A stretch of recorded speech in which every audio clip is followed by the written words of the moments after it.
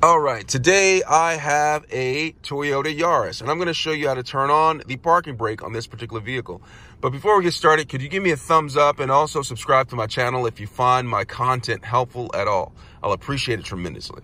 All right, let's get started. So I'm sitting behind the steering wheel of the vehicle, right? Sitting behind the steering wheel of the vehicle. My vehicle is in park, and what I do, I tend to do, is just something I do. I go ahead and press the brake, all right? Press my foot on the brake, uh, and then I go towards the center and look down and you see this right here, this lever. What I'm gonna do is I'm gonna press down on the button a little bit or all the way and then raise it all the way, all right?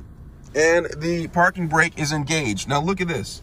It says brake right there on the instrument panel, indicator that the parking brake is engaged. Now to turn it off, I'm going to simply do the same thing. Vehicle in park, foot on brake, come over here, I come up here, raise this lever a little bit, press the button and release and the parking brake is off. Let me know if you have any questions.